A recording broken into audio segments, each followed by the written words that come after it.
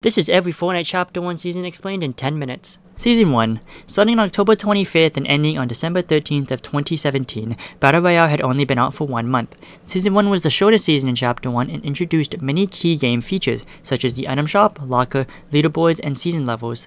A season shop was also introduced where you could purchase items such as the Renegade Raider and Aerial Assault Trooper skins once you hit a certain level. Many other influential Fortnite weapons and items were also introduced, including the Slurp Juice, Medkit, Bush, Launchpad, Suppressed SMG, and the Smoke Grenade. Oh, and I can't forget to mention that in the last couple days before the season ended, we also got the insane 50v50 LTM that made the game even more popular than it already was at this time. Season 2. Season 2 ran from December 14, 2017 to February 21, 2018. This was the first season to have a theme, being medieval, something that would continue in every season to this day. At launch, the map didn't change, but in the third update of the season, we had a major map overhaul, bringing us locations like Tilted Towers, Shifty Shafts, and Junk Junction. An all-new battle pass came in to replace the season shop, a decision that would change the gaming industry as a whole. The Season 2 Battle Pass is the only Battle Pass to have 70 tiers and gave us outfits like the Sparkler Specialist and Black Knight. Season 2 had a lot of things added to the season like the Boogie Bombs, Small Shield Potion, Suppressed Pistol, Cozy Campfire, Chug Jug Minigun, Cupid Crossbow, and the Impulse Grenade. Lastly, Season 2 was the first season to introduce A1 Umbrella. Season 3. Season 3 started on February 22nd and ended on April 30th of 2018 and was space themed.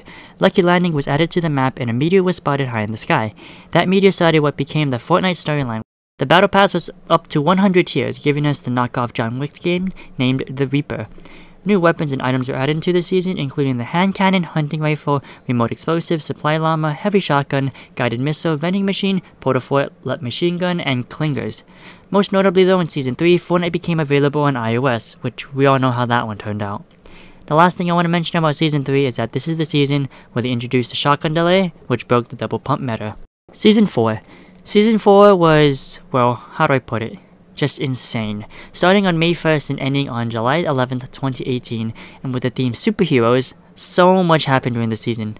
First, the new season brought new locations. Dusty Depot got destroyed by the meteor in Season 3, with Dusty Divot replacing it. Risky Reels appeared on the map, and the Villain Lair popped up, which should be important later on. New to the season was Hop Rocks, Apples, Mushrooms, the Burst Assault Rifle, Jetpack, Bouncer, Thermal Scope Assault Rifle, Stink Bomb, Dual Pistols, Drum Gun, and the Shopping Cart, our first vehicle. New to this season was also our first Fortnite collab with Avengers Infinity War. A Thanos glove would fall on the map and you could play as him, becoming insanely overpowered. In this season's Battle Pass, Season 4 was the first season to introduce a secret skin, which was relative to the season storyline. Sprays were also introduced in the Battle Pass this season. Season 4 also brought another video game industry changing event to take place, and that was live events. The Rocket event took place on June 30th and left a giant crack in the sky until Season 5. In the two weeks before the season ended, different items like llamas and the Durr Burger were mysteriously rifted off of the island and appeared in real life. Season 5 Season 5 had the theme World Collision and ran from July 12 to September 26 of 2018. A couple of days before the season launched to a few weeks after, the Durr Burger and different items like the Fortnite Llamas were lifted out of the Fortnite map and appeared in places like California and London. The Season 5 Battle Pass introduced two new types of cosmetics to the game, skin styles and toys. Two skins in the Battle Pass, Drift and Ragnarok, had unlockable styles that completely changed the way they looked. On top of that, we also had two toys, the basketball and the golf ball, which can interact with the map. If you headed to Lazy Links, you could play around the golf with the golf ball, and if you go to one of the basketball courts on the island, you could shoot some hoops. Map changes this season included places like Lazy Links replacing Anarchy Acres, and the desert biome featuring Paradise Palms replacing Moisty Mire. Season 5 introduced a giant purple cube that the community named Kevin, and after a long journey across the island, landed in Loot Lake, making the water bounty on the last week of the season. New things in the suit included the submachine gun, the insanely broken compact SMG, the double barrel shotgun, heavy sniper rifle, suppressed assault rifle, rift to go, shockwaves, grappler, porta fortress, and the all-terrain car, our second vehicle in the game. Season 6. Starting on September 27th and ending on December 5th of 2018, Season 6 was themed Corruption. After Kevin the Cube sank into Loot Lake, he brought up the house and created a floating island, leading Loot Lake to become Leaky Lake. Over the course of the season, the floating island would travel to seven different ruins that were added to the map and absorb the ruins' power. By the end of the season, the floating island returned to Leaky Lake and Kevin the Cube became unstable. On November 4th, Kevin the Cube exploded, giving us a Season 6 live event named the Butterfly Event. We would be transported to this mysterious glowing area, where we would meet what seems to be a cracked butterfly. New weapons and items in the season included the Shadow Stone, Chiller, Quad Launcher, Quad Crasher, Six Shooter, Balloon, Heavy Assault Rifle, Mounted Turret, and Dynamite. New to this season's Battle Pass was Pets, a backbling that had an animal on it that reacted based off how you played. Season 7. Season 7 was winter themed and ran from December 6 of 2018 to February 27, 2019. New locations included Frosty Flights, Happy Hamlet, Polar Peak, and The Block. The Block was a community POI with the content constantly changing.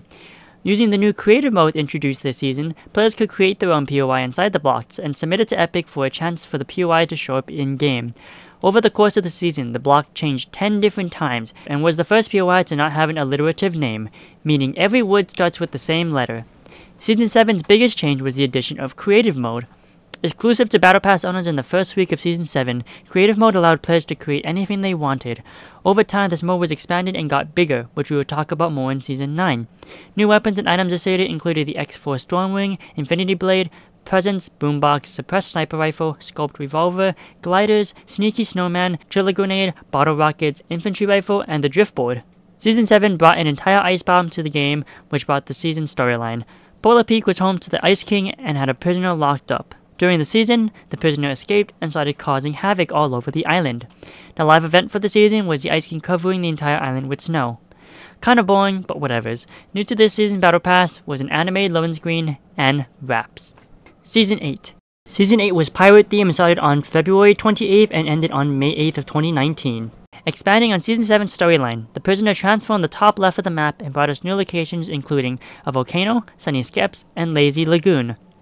New things in the season include the Pirate Cannon, Buried Treasure, the Baller, Flint Knock Pistol, Poison Dart Trap, Banana, Coconut Pepper, Boom Bow, the Reboot System, and Shuttle Bomb. Season 8's live event was named the Unvaulting Event, and let players vote on one item that they wanted to unvault. The drum gun was picked and was immediately unvaulted following the event. After the voting, the volcano erupted, destroying Tilted Towers, Retail Row, and hitting the side of Polar Peaks Mountain. New to this season's Battle Pass was the Party Assist feature, let your friends help out with certain challenges. Season 9. Season 9 went from May 9th to July 31st of 2019 and was future themed. The destroyed Tilted Towers in Row became Neo Tilted and Mega Mall, and the volcano became the pressure plant. On the side of the polar peak that was hit by the mountain, revealed a monster would set itself free and went swimming into the surrounding ocean. Over the course of the season, the pressure plant started building this giant robot named the Mech, and they used it to fight against this monster in the season's live event, titled The Final Showdown. The final showdown took place on July 20th and was a fight between the mech and the monster, which was named the Devourer. The mech ultimately won the battle, and the Devourer's bones were left on the island to rot. Due to the event taking place right before the World Cup, no significant map changes took place outside of the Devourer bones. Since we just mentioned it, let's talk about the Fortnite World Cup. The Fortnite World Cup took place in 2019 and had a $40 million prize pool. Taking place in the New York City from July 26 to 28th, the Fortnite World Cup had solos, duos, and even creative. With the finals alone having a $30 million prize pool, the solo winner, Bugha, took home the biggest gaming event payout at that time, with $3 million. New to Season 9 was the Combat Shotgun, Tactical Assault Rifle, Burst SMG, Storm Flip, Proximity Grenade Launcher, Loot Drone, Chug Splash Drum Gun, Airstrike, and the Storm Scout Sniper Rifle. Season X. Season X started on August 1st and ended on October 13th of 2019, being time travel themed. We've had the most POIs this season with Tilted Town, Pandora, Moisty Palms, Gotham City, Starry Suburbs being new, and Dusty Depot, Retail Row, and Greasy Grove returning. The famous Brute, or Mechs, were added along with the automatic sniper rifle, junk rift, shield bubble, glitch consumables, Zapper Trap, Spicy Tacos, Explosive Batarang, and the Batman Grapnel Gun. The Zero Point, a magical spear that was used during Season 9's live event to help defeat the Devourer, became unstable, which led to this season's live event named The End. The End event took us to the end of Chapter 1, and it was about preventing the Zero Point from destroying everything. A mysterious team called the Seven assembled and created a rocket to prevent the Zero Point from basically destroying the world. The rocket that was created was the same as the rocket from Season 4, and was used to send the meteor into the Zero Point, causing it to implode on itself. Following the event, there was silence a black hole that filled everyone's screen. For hours, the players could do nothing, but those hours led to a day, and then two, and then eventually led to Fortnite Chapter 2. So that was every Fortnite Chapter 1 season explained in 10 minutes. Obviously that wasn't exactly 10 minutes, it's just that this entire video itself is going to be exactly 10 minutes long. If you haven't already, please go check out my TikTok, link will be in the description below. And if you liked the video, please like and subscribe, and let me know if I should do a Chapter 2 version of this. I'm thinking about doing it, but I want to know what you guys think. Should I make a Chapter 2 version or should I not?